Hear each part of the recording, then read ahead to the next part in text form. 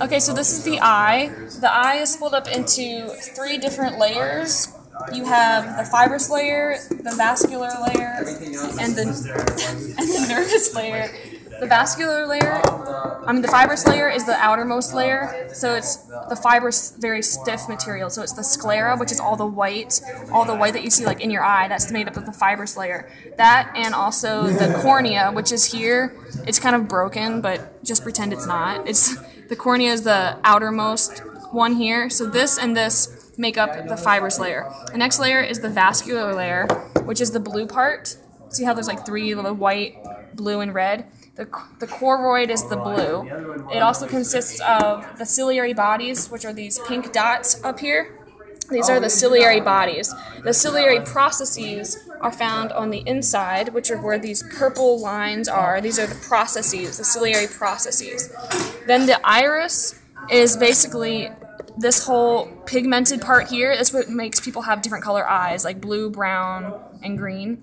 Um, the pupil is this hole here. So basically, if you put the eye back, it would be the hole that this makes, where the light goes in. So the vascular layer consists of the choroid, the blue, the ciliary, ciliary bodies, the pink dots, the ciliary processes, which were the purple lines, and the, the pupil, which is the hole. And the last layer is called the nervous layer, which is basically the red part is the retina, the whole red inner layer. Also the central fovea, or fovea centralis, whichever way you want, is this dot right there. So basically what happens is the light comes into the eye and hits the fovea centralis, which is your main focusing point of the eye. Um, also the optic disc, which is this part right here, which is where the, the, the nerves and blood vessels exit the eye. So all these blood vessels here all enter out of this um, optic disc, which is your blind spot. In the back, you can see it comes out here, and that would be where your optic nerve is.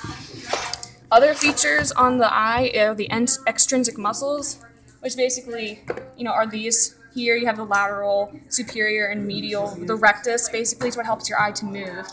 The lens is this here. It's what helps you focus from things that are close and far away.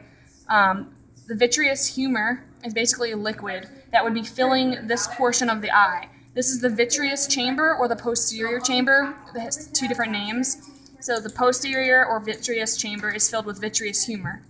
Then you have the, the anterior chamber, which is from the cornea to the lens. So maybe you want to get like a, a superior view. From here to here, the, the cornea to the lens is the anterior chamber. The anterior chamber is split up into two parts. You have the posterior segment and the anterior segment. The posterior segment goes from the, the lens to the iris, so like this little space in between here is the posterior segment of the anterior chamber. Then from the iris to the cornea, it's called the anterior segment of the anterior chamber. And that's all.